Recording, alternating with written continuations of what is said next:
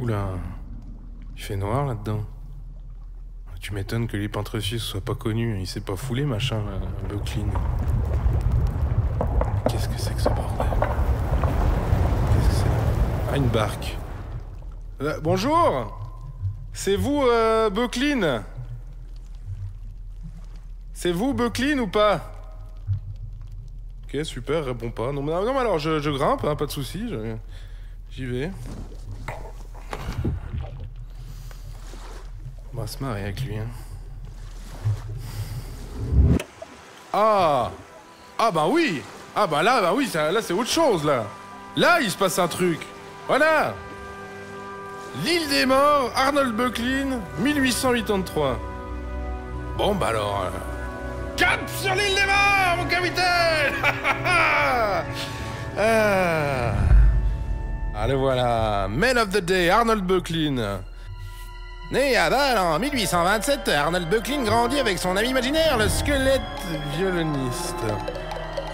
Ah oui, bah quand ils sont 2000, ça fait une autre impression, les squelettes violonistes. hein. Quelqu'un peut rallumer la lumière S'il vous plaît Merci. Et il fallait vraiment pas qu'il soit au top hein, pour peindre un truc comme ça, le mec. Tiens, t'en t'en penses quoi, toi, euh, Captain Silence? Tu l'as connu, toi, euh, Böcklin Bah, bah, c'était pas Joe le rigolo, j'imagine, hein Apparemment pas. Vu qu'il t'a peint. Voilà, alors palier suivant dans la flip, un mec en blanc sur une barque qui nous mate. Voilà. Bonjour Vous aussi, vous cherchez une place? Oui, bah à cette heure-là, c'est toujours l'enfer, hein Qu'est-ce qu'il fout,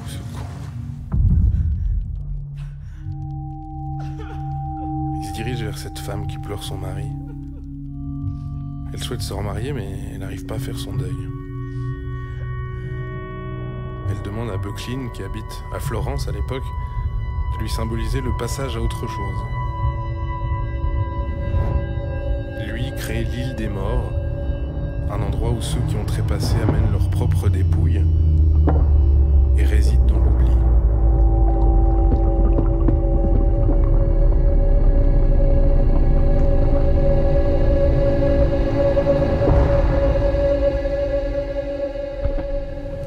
Bon, bah c'est pas tout ça, mais on a fait le tour là.